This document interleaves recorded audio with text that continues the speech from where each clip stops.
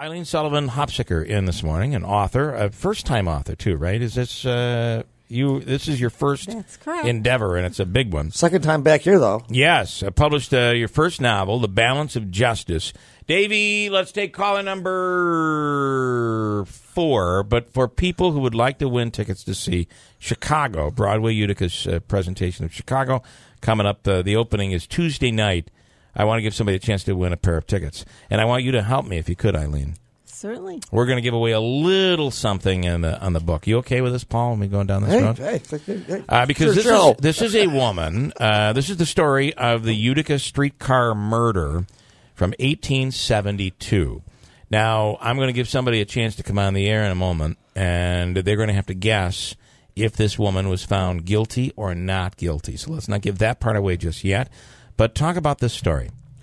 Well, um, she this woman came from uh, Falls. Uh, that's where it started out. Well, actually, she started out in, in um, Virginia, but grew up in Oriskany Yeah, Falls. yeah. Sweet girl, and um, Way ahead of her time. yes, yes. I mean, she start starts out very, very bright, very capable, and everything. Um, but normal. Yeah, I mean, yeah.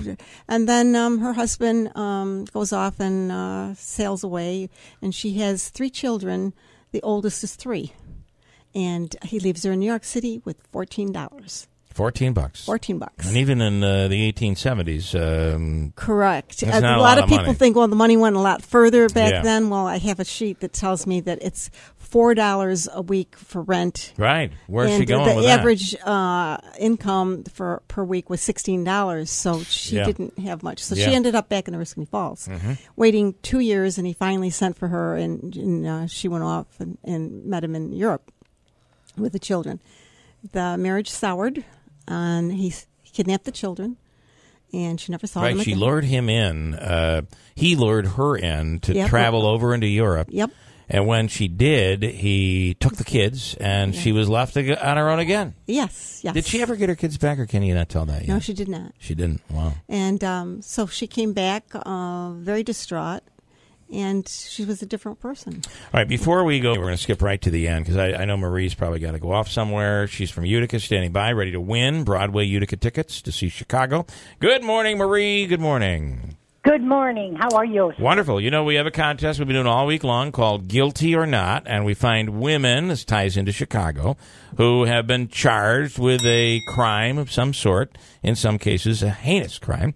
Uh, so this woman, and her name, again, the woman's name? is- Josephine McCarty. Josephine McCarty. Uh, and we're and we're talking about the story of the Utica streetcar murder from 1872. She went on trial. Was she found guilty or not? Um,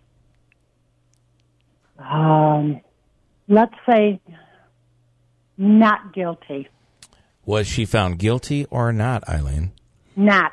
Yeah, I I know that, Marie. Thank you. I'm, uh, I'm asking uh, Eileen, the author, and the answer is Not. not. There we go, Marie. Congratulations. You are absolutely correct. It's not guilty. How about that? Uh, okay, Marie, we're going to hook you up with tickets to see Chicago at the Stanley Theater coming up on Tuesday night. It's opening night. If you'd like tickets, there still are some available for Tuesday or Wednesday's show.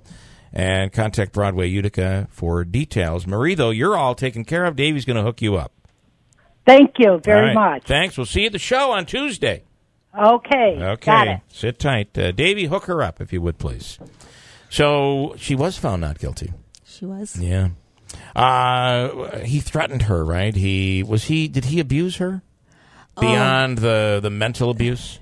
Uh, yeah, he did. Yeah, yeah. Um, he, he chased chased her. He uh, uh, wouldn't let up. I mean, he, he put an ad in the newspaper when he couldn't find her in New York City. Anybody knows where Josephine McCarty is? Let him know. Wow. I mean, that's stalking in a Yeah. big way. Yeah. um, and he just would never let up. Hmm. And uh, you know, it began when they were young. They they knew each other before she she married. Um, he was always infatuated with her, uh, probably in love with her. Yeah. Yeah. Um, then I think it the love wore off. It was just an obsession, Mm-hmm. and then it became hate. And back then, uh, when a woman was obsessed over by a man, and especially if they'd been married, it was almost like an ownership situation. Uh, Yeah. You hear all those stories of uh, right here in Utica where where women who wanted to leave their husbands ended up uh, in in the psych center.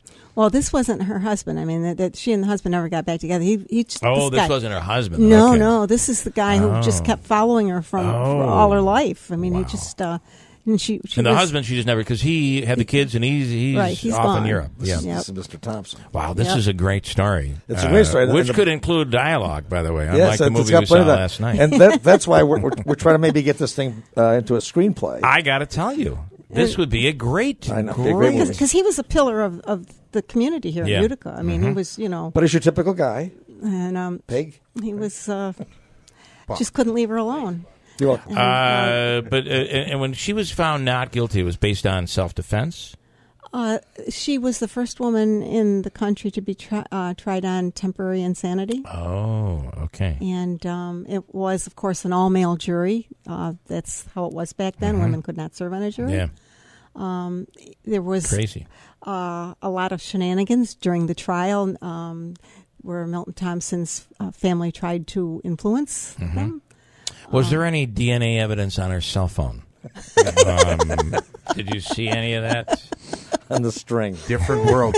you know, and, and, uh, this is this a photo from the That's um, n- no, that is uh, um, from an 1879 history of Oneida County, and that's Genesee Street. This Wow. is Genesee. I mean, look at this building. It's the Hackett building. Yeah.